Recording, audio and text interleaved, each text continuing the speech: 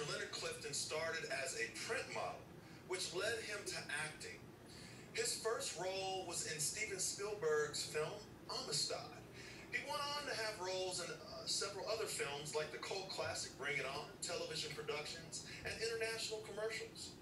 Uh, Leonard loves writing, supporting his favorite charities, traveling the world, and is always seeking new adventures. Now, he'll be talking to us about his fantastic Prince of Atlantis, a story about Alan King, a black teenager living in a blue collar family in Miami, Florida. He is constantly bullied by the popular jock in high school until one uh, miraculous day, Alan comes across a crystal necklace that gives him the powers uh, telepathy, teleportation, and he has the abilities to speak to sea animals. Alan finds out he's an alien hybrid prince from the lost city of Atlantis, and when he connects with his Atlantean ancestors, the ghosts, the Atlanteans, he must prove to them that he is worthy to become king.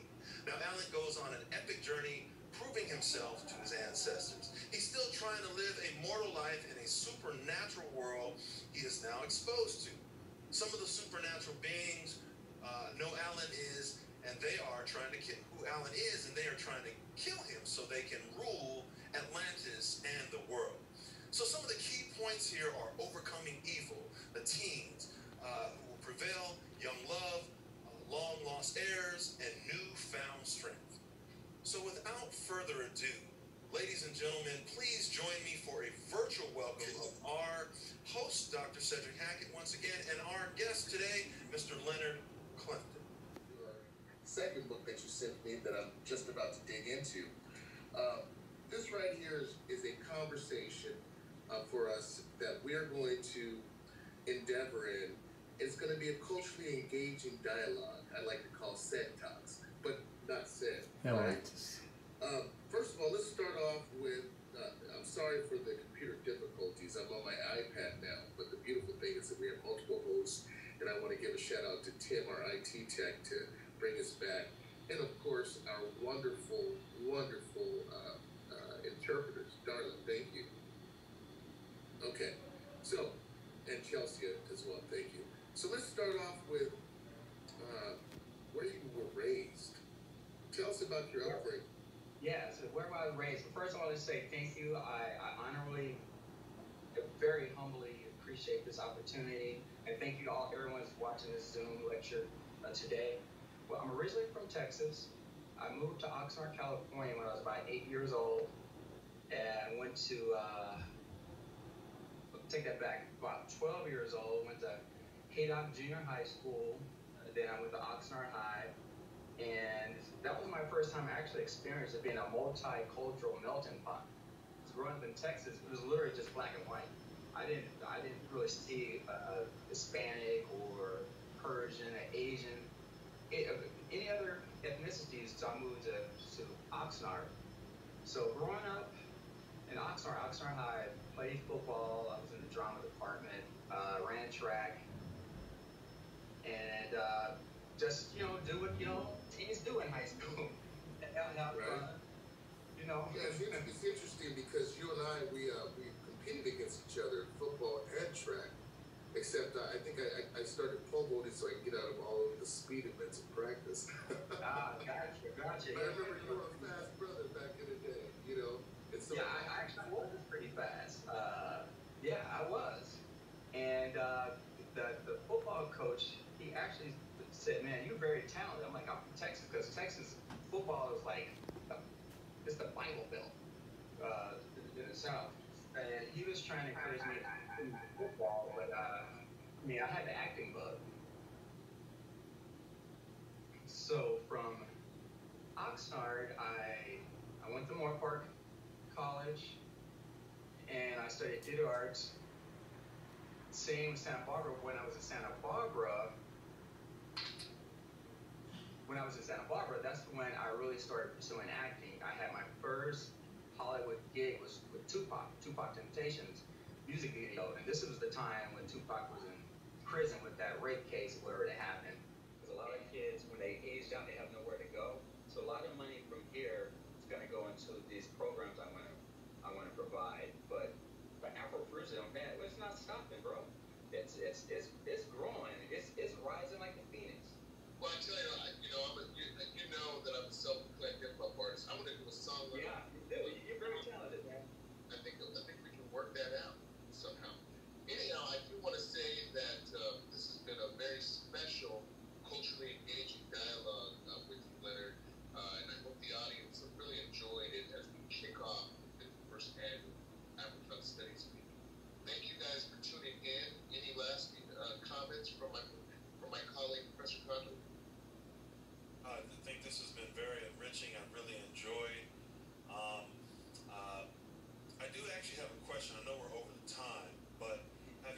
Consider possibly, um, you know, with all the advances in technology and the independent market, have you considered possibly independently producing a film and getting a, a script written in uh, sort of an independent market, sort of how Spike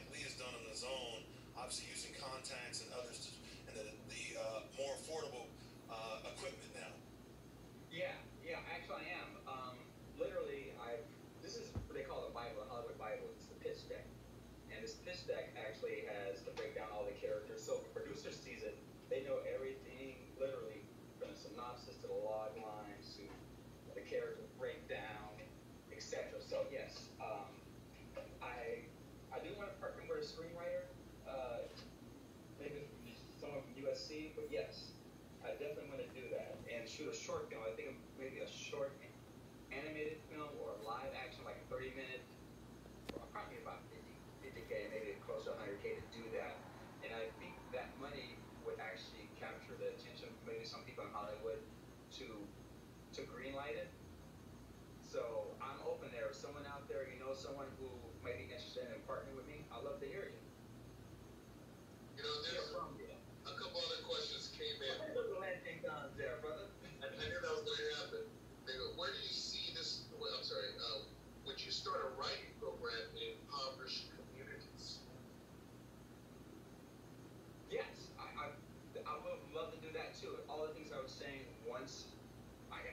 money for a lot of these programs. With the foster, you know, with the foster care system program, we want to start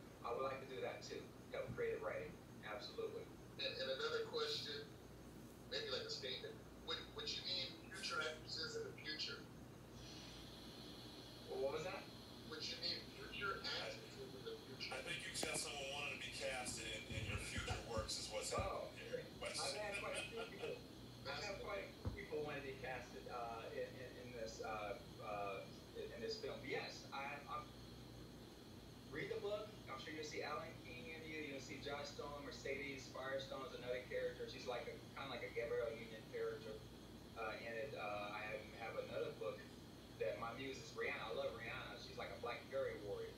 Um, she's related to Alan.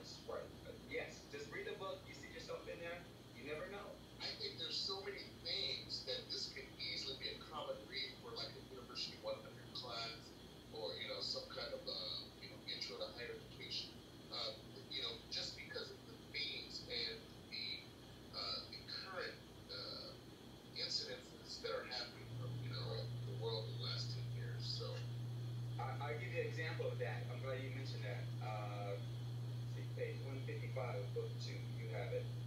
it it's literally, actually, I wrote this, this would happen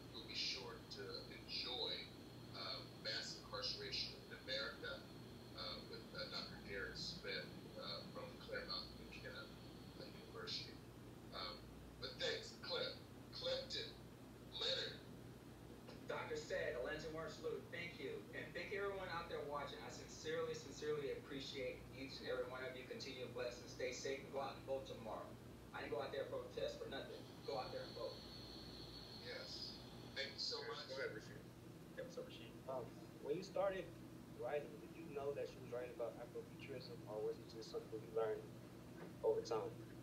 You know, when I started writing, it's it goes back to when, um, like I said, I was acting. I also was in a film Morgan Freeman produced uh, with uh, with Michael Jai White. He played Spawn.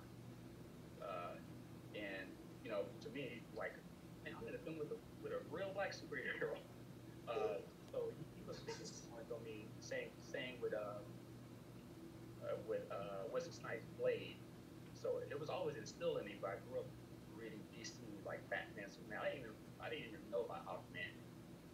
Um, but I always loved those those comics, but yet still I didn't see any black main protagonist character in those comics. So that's why I decided to, to write my own. But now I got to give Stan Lee props. I never really read any Marvel comics.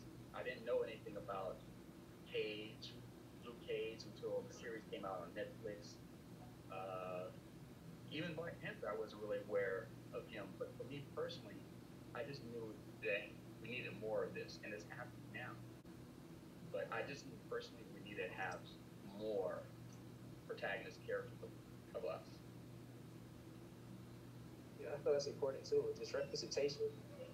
But I like how you said you put Atlantis, you, you, you, you added blackness to Atlantis, and how you understand with just Western scholars, they always try to like control the narrative and always try to degrade blackness and Yes, history. yeah. It's like what Egypt, they try to say Africa was not, Africans was not Egyptians.